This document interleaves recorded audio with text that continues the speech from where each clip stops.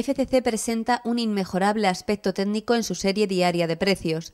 El valor consiguió definirse al alza a mediados del pasado mes de octubre y tras dejarse un importante hueco alcista, parece que quiere consolidar niveles antes de continuar con su escalada.